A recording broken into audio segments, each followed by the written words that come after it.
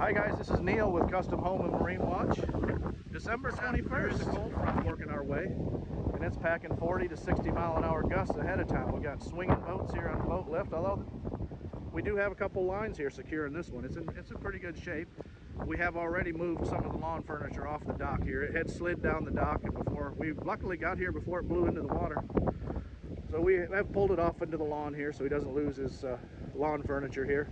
Hey, you don't have home watch. This is why you need home watch. If you're wondering right now, hey, is my boat still there? Has my pool cage been damaged by these high winds or branches or debris? Hey, take the worry out of it. Take the worry out of second home ownership. Get your home watch services. This is Neal with Custom Home and Marine Watch. Enjoy your Christmas, guys. Bye-bye.